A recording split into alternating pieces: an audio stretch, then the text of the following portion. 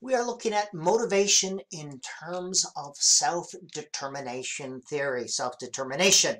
You are able to control your environment in order to achieve the desired goal or outcome. That is self-determination. Self-determination theory says that humans are driven to achieve three states, competence, autonomy, and relatedness. That is a theory of human motivation. We'll look at each one of these. Competence.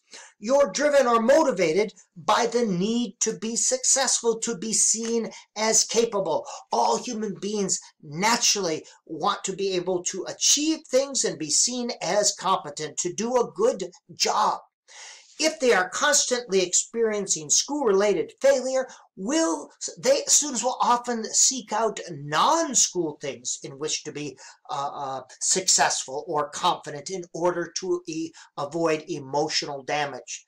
They want to be good at things, so they'll be good at things like auto mechanics or sports or computers, something outside of school.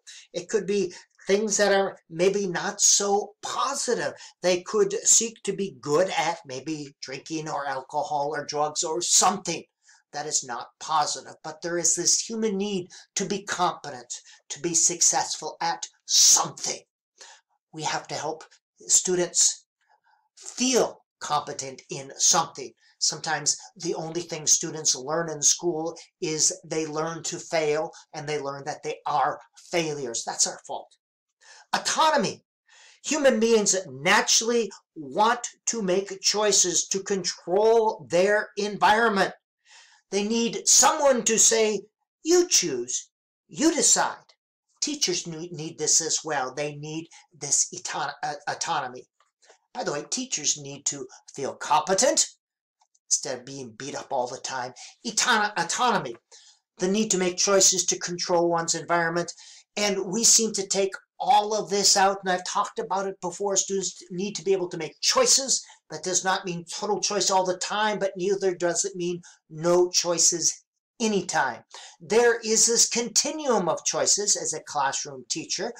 There is a continuum between chaos and control. Nobody loves chaos in a classroom.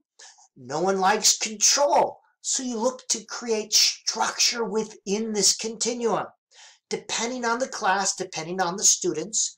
Some need more control, less choice. Some need less choice, more. You get the idea. That structure continually moves. I find this with my college uh, students as well, with my undergraduate students. Some classes need a little bit more control, less choice. Some need a little less uh, control and more choice. But no class ever likes chaos where they decide all the time or control where they never decide any of the time.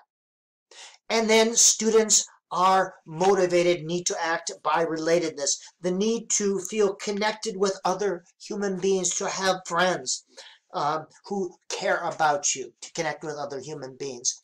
And I used to see this when I was on the playground as a second grade teacher, supervising the playground all the time. These three things, the competence, you can do a good job. Watch me, look what I can do. Autonomy, you're not the boss of me, do we have to? And relatedness, do you want to play? Can I play with you? All human beings have this natural drive to feel competent, they can do something, autonomy, control over your environment, and relatedness, to have friends to play with, to feel loved or cared about. Motivation, self-determination theory.